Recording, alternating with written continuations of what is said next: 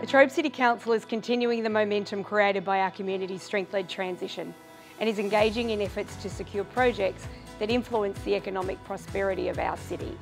With the state election fast approaching, the Latrobe City will continue to advocate on our community's behalf for a range of priority projects to further enhance our regional city's livability, economy and overall health and well-being, including securing a 50,000 tonne Gippsland material recovery facility in Morwell to boost our circular economy, harnessing renewable energy and hydrogen technologies to drive Latrobe City's economic transition and new energy future as we continue our proud tradition of powering the state of Victoria. Establishing an education and health clinic to address workforce needs in our high demand healthcare sector,